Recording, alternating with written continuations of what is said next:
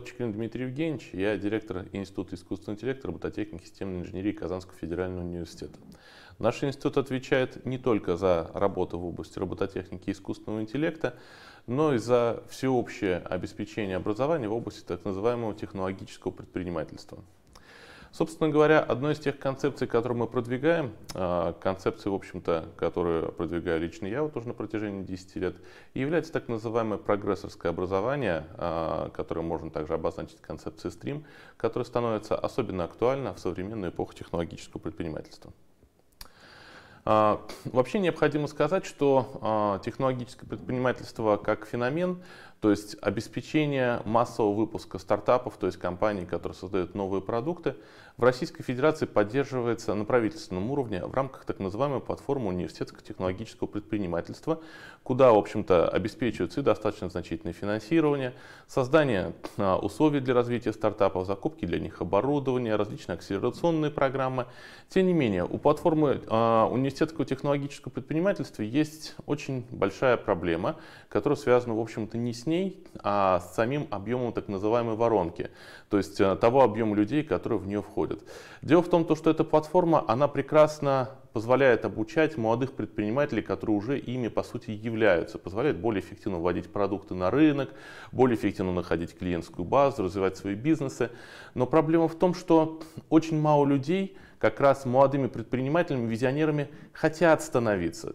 И наша задача как раз кратно увеличить их количество. Основной причиной недостатка объема воронки является недостаточное качество как раз входящих кадров, то есть тех кадров, которые выпускают школы и потом выпускают университеты с точки зрения технологического предпринимательства. То есть эти кадры, они являются недостаточно универсальными. Ну, предприниматель должен быть универсальным человеком, который разбирается, что называется, одновременно во всех областях. При этом он должен быть достаточно инициативным, достаточно образованным, ну и вообще обладать значительным уровнем убедительности. Собственно говоря, для того, чтобы воспитывать такие кадры, нами была разработана так называемая концепция Stream в кубе, которая является развитием известных методологий STEM и STEAM, а, также сейчас вот кое-где внедряется, в общем-то, методология, которая называется Stream просто, которая основана на трех инновационных вещах. Всеобщем занятии э, робототехникой, всеобщем, всеобщем занятии различными исследованиями разработками, и главное, включением именно чтения э, в образовательный процесс как основного вида потребления контента. А, на текущий момент в рамках платформы университетского технологического предпринимательства массово именно запускаются стартапы, которые ориентированы прежде всего на IT-область и область робототехники. Поэтому, собственно говоря, мы и ориентируемся то, что э, ту воронку, которую мы сейчас пытаемся создать, она является именно максимизированной с точки зрения стартапов в области робототехники, а не каких-то других вещей, например, там химии, биологии, там чего-то остального. Поэтому мы сейчас говорим именно о нашей предметной области, которая касается IT, искусственного интеллекта и различных робототехнических систем.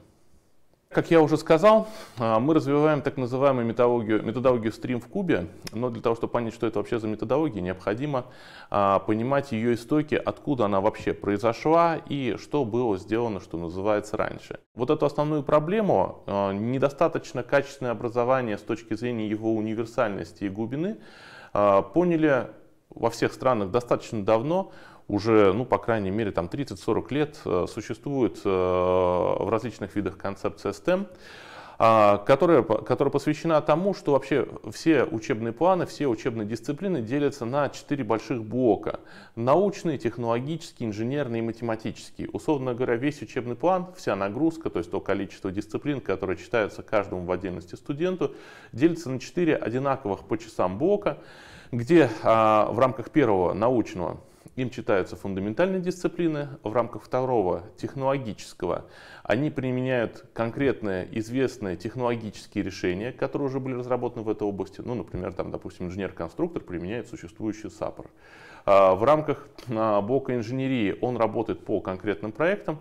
В рамках блока математики именно обеспечивается сквозное математическое образование, потому что считается, что политехническое образование, а в общем-то концепция STEM относится именно к концепции политехнического образования, без математики мер, э, мертвое и нежизнеспособно. STEM обеспечивает прекрасную подготовку специалистов политехнического профиля, но у STEM есть ряд принципиальных недостатков, которые, которые привели на самом деле в мире к значительному снижению первоначальной популярности этой концепции. Я попробую эти недостатки точно так же обозначить. Дело в том, что несмотря на то, что в рамках STEM вы действительно очень глубоко исследуете дисциплины естественно-научного профиля, и математические дисциплины, и различные фундаментальные составляющие, прекрасно работаете по проектам, в рамках дисциплины STEM в принципе нет мест гуманитарным дисциплинам и так называемым дисциплинам soft skills. А, это очень плохо. Например, если мы посмотрим а, современные исследования, а, посвященные как раз эффективности топ-менеджмента, то окажется, что непосредственно при продвижении по карьерной лестнице, например, то есть вот когда человек становится руководителем, начинает расти как руководитель, его именно первоначально технические навыки и образованность в естественно-научной сфере теряет ценность с каждым уровнем как раз организационной иерархии. Ну и сводится практически к нулю на высших уровнях иерархии. То есть, условно говоря, им требуется только понимание картины мира, но никак не разбирать разбирательств того, как вот написать вот конкретный код. Конечно, бывают исключения, и эти исключения достаточно хорошие, но как бы я думаю, что никто не рассчитывает на то, что, допустим, тот же самый Илон Маск будет там э, сам калибровать там СОПу там двигатели Раптора или делать там что-то подобное. Нет, это должны делать именно а, инженеры, специалисты, но не руководители. Поэтому STEM, он не рассчитан на то, чтобы выпускать руководителей. А платформа технологического предпринимательства непосредственно ориентирована на то, чтобы молодых руководителей развивать. То есть вот она уже первоначально не рассчитана на то, а, чтобы выпускать кого-то, а, кто будет работать ну, чуть выше, может быть, чем линейное звено. Это первое. А, второе. Образование, в котором нет гуманитарной составляющей, образование, в котором нет в такой общефилософской составляющей таких предметов, как история, философия, логика, какие-то социокультурные вещи, там, истории искусств, ну, они являются чрезвычайно бедными для именно людей с так называемым дивергентным мышлением. Дело в том, что, в общем-то, мышление делится если это очень грубо сказать, на два типа дивергентное и конвергентное. И руководителями становятся люди именно с дивергентным мышлением. Это те, которые находят субоптимальные методы решения проблем, субоптимальные, да, но при этом э, имеют их много, условно говоря, если у вас не сработал план А, вы идете по плану Б, если не сработал план Б, быстро придумаете план С, как бы, ну, это и в этом есть суть предпринимательства. Те предприниматели, которые не могут этого сделать, они, в общем-то, очень быстро свои бизнесы начинающие теряют, да, или те, в которые они пришли уже не начинающие бизнес, тоже теряют. Поэтому, собственно говоря, STEM совершенно не предназначен для специалистов с дивергентным мышлением, поэтому они очень быстро в нем разочаровываются, из него уходят. И третье, ну это сейчас мы перейдем уже к следующей концепции STEAM, а, которая была, в общем-то, развита на базе STEM.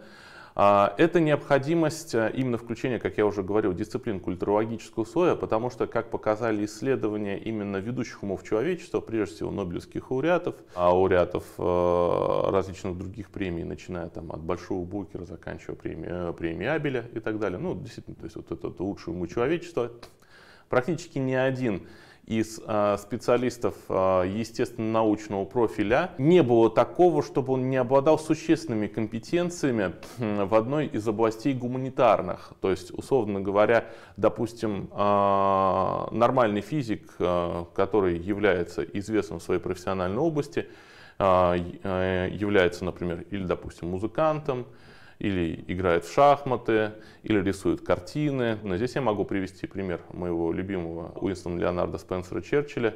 В общем-то, после того, как его после Первой мировой войны уволили с позиции Первого орда Адмиралтейства, на протяжении 10 лет он а, рисовал картины в общем-то, делал это вот очень неплохо и профессионально. Это соответствует абсолютному большинству тех людей, которые принимают решения. То есть вообще сам процесс принятия решения, он связан с формированием сложных абстракций в вашем мозгу, а сложные абстракции в мозгу невозможно сформировать, если вы не занимаетесь или не, не интересуетесь какими-то, что называется, вопросами искусства. Это может быть музыка, пение, опять же, повторюсь, рисование картин, скульптуры, все что угодно, даже что называется художественное вырезание по дереву, но тем не менее нет таких людей, нет, ну, вернее, такие люди есть, это исключение. Мне, например, неизвестно о том, чтобы тот же самый Перельман, да, который решил одну из э, проблем века, занимался чем-то таким, вот, да, культурологическим, но это скорее исключение, чем правило. Например, тот же самый, допустим, Алан Тьюринг, он профессионально занимался спортом, больше там, например, вот марафон он пробежал всего на 8 минут медленнее, чем а, чемпион 1945 года по пробежке марафона. В смысле, чтобы вы понимали, спорт это тоже искусство. Спорт это тоже искусство в какой-то мере, ну иногда в очень даже большой мере. Вот попро- давайте вот попробуем сказать, что а, художественная гимнастика не является там видом искусства. И поэтому, собственно говоря, пришел достаточно разумный вывод, а давайте-ка мы введем а, блок именно, что называется, а, культурологический именно искусств в рамках концепции STEM. Добавили блок арт, но дело в том, что все проблемы это тоже не решило, но по одной простой причине. То есть понятно, что гении являются специалистами во многих областях, но совершенно не факт, что, что специалисты во многих областях должны являться гениями. А в рамках концепции STEAM а, очень сильно повысилась удовлетворенность обучающихся, потому что они не чувствуют себя что называется, уже обездоленными. А, снизилось а, количество времени, уделяемое другим блокам, поэтому немного понизилось количество, именно количество часов и поэтому интенсивность подготовки по этим предметам. Но это компенсируется тем, что у людей, по сути, возникает а, именно время для в некотором роде интеллектуального досуга в процессе обучения, ну и как бы это очень хорошо. Тем не менее, необходимо сказать, что в рамках концепции STEAM Осталось, к сожалению, а, первоначальное родимое пятно STEM, которое, с которым вообще вот STEM создавался. Дело в том, что концепция STEM, она вообще началась а, в тот момент, когда появились новые виды усвоения контента. Ну, условно говоря, чтобы вы понимали, да, для детей викторианской Англии э, был чрезвычайно популярен запрет на чтение, потому что считалось, что чтение, цитирую, размягчает мозги детей. Да. Вот. Э, на самом деле чтение как доминирующий вид потребления контента, он был таким доминирующим до где-то 60-х годов 20 века. А потом появился видеоконтент. И с появлением видеоконтента появилось предположение, что одновременное а, усвоение именно видеоряда позволяет повышать качество навыков, а, которые из этого возникают, потому что людям не нужно формировать в своем мозгу абстракции, вот им, пожалуйста, объяснять, как все это делать, тем более, если это касается политехнических дисциплин. Гипотеза, она, конечно, интересная, как, в общем-то, время показало совершенно не так. Мы сейчас вот пришли к так называемому клиповому мышлению у большей части современной молодежи. То есть, вот, условно говоря, ориентирование на основной вид видеоконтента как э, формата предоставления данных, он приводит, э, привел к катастрофическим последствиям. Современные, в общем-то, учащиеся часто не способны сосредоточить свое внимание а вообще, в принципе, больше, чем 15-20 минут. В общем-то, это стандартная длительность ролика на YouTube или в так называемом там TikTok совокупности роликов. Да? Это первая проблема, то есть э, невозможность длительного сохранения внимания. Вторая проблема, э, да, наверное, видео в каких-то случаях оно более понятно, то есть вам не нужно додумывать, вам все показали, вы точно так же сделали. Ну, я, например, считаю, что видеоконтент возможен только для того, чтобы а, обучать ну, максимум специалистов рабочих профессий, потому что в рамках видеоконтента вы можете передавать исключительно малый объем информации. Ну, я объясню, ну, даже вот записали вот вы лекцию полутора часовую, это не 20 минут, это получается у нас вот там 6 отрезков, о, не 6, 4-5 а, отрезков по 20 минут, зависит от того, какая, какой длительности лекции, да. Ну что, ну во время лекции вы записываете 6-7 страниц текста. Ну, получается, за даже полтора часа вы можете там записать, прочитать, изучить 6-7 страниц текста. Ну, это ничтожно мало.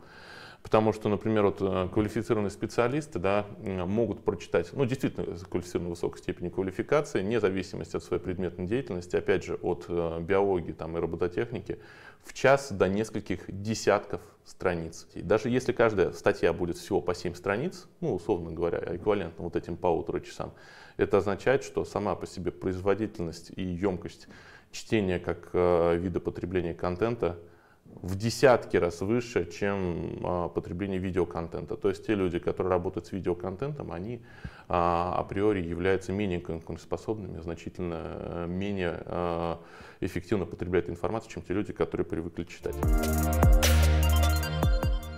Концепция Steam стала развиваться дальше. Буква R, которая туда добавилась, э, во всем мире означает reading, то есть чтение, то есть как раз то, о чем я сказал, что люди стали буквально там, 10 лет назад спохватываться и пытаться понять, как сделать так, чтобы люди, вот их обучающиеся, снова стали читать. Да? То есть вот, э, в концепции стрим говорится о том, что доминирующим видом контента должны являться именно чтение. Мы создаем концепцию именно стрим в кубе, которую называем так называемым прогрессорским образованием. Почему его называем прогрессорским образованием? Были такие замечательные а, произведения цикла «Полдень 21 век» а, Аркадия Борисов Стругацких, которые показывали, э, куда может двигаться человеческая цивилизация в том случае, если она будет вести действительно специалистами высшей квалификации, которые, что называется, гармонично развиты во всех направлениях. И эти специалисты у Стругацких назывались прогрессоры. То есть это те люди, которые в одиночку могут изменить курс движения целой цивилизации, ну, под цивилизацией народ, там, условно говоря, большую социальную группу, и сделать это благодаря своей гармоничной развитости, начиная от моральных принципов, заканчивая знаниями в ядерной физике. Вот именно таких специалистов мы считаем необходимо развивать. Во-первых, необходимо читать, я об этом уже много раз говорил, я не буду повторяться. Во-вторых, необходимо брать универсальную дисциплину для политехнического образования, которая позволяет в себе объединять э, все аспекты, что называется, и работы с абстракцией, и работы с железом. Такими дисциплинами являются именно прежде всего робототехнические предметы. Когда вы разрабатываете роботов, вы в любом случае и работаете руками, и работаете с математическим моделированием, и делаете какие-то цифровые двойники, и паяете провода, и пишете код. То есть это, в общем-то, сквозное политехническое образование в рамках единого проекта, как оно есть. И, наконец, третье, мы считаем принципиально важным а, в рамках третьего R, это writing. А, обеспечить не только чтение, но и письмо, то есть а, люди должны максимально конспектировать то, что они делают, и выполнять максимальное количество работ, а, в которых они обеспечивают а, написание собственных текстов, потому что формирование сложных текстов приводит к образованию в мозгах а, сложных цепочек нейронных связей. Это не мой домысел. В общем-то, большие лингвистические модели представляют собой не что иное, кроме как аппарат для написания и воспринятия сложных цепочек текстов. То есть, в общем-то, а, в данном случае становится понятно, что большие лингвистические модели привели к э, своим успехам именно потому, что они смогли изучать большие объемы текста и писать большие объемы текста. Именно поэтому, в общем-то, они сейчас ведут себя фактически как разумные сущности. Ну, давайте будем, что называется, тоже себя вести как разумные сущности. Это очень сильно нам поможет. Нами, в частности, для вот этого нового политехнического образования был а, разработан достаточно универсальный набор предметов, который включает в себя как предметы политехнические, так и универсальный блок, так называемый soft skills.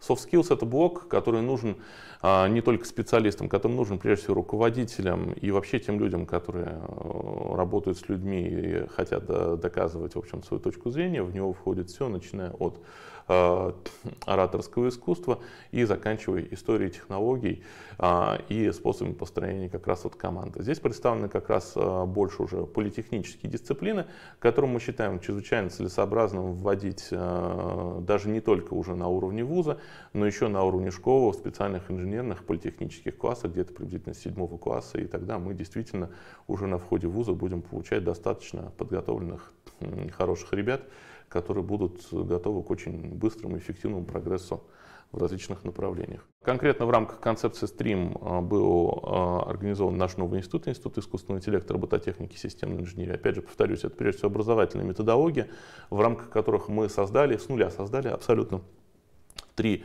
образовательных программ. Это, я их, вот, собственно говоря, представляю, разработчик и когнитивных систем, архитекторы интеллектуальных транспортных систем, роботизированных платформ. Это все, что касается беспилотной техники. И непосредственно робототехника, искусственный интеллект.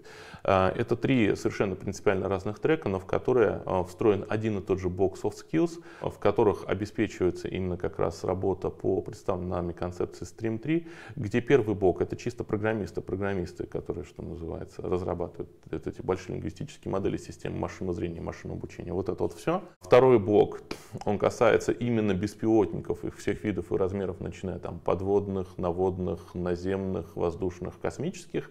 А третий, робототехника, это, в общем-то, ну, все другие роботы. Как бы доминирующее количество роботов в мире на текущий момент нет. Это не беспилотники, это индустриальные роботы а, различные, которые работают с людьми там, на заводах, а, в кафе, на различных промышленных объектах. То есть, как бы, э, это как раз классическая робототехника, которая в мире как раз вот начала развиваться там, в 80-е годы с приходом четвертого а, как раз индустриального уклада. На этом все. Спасибо за внимание.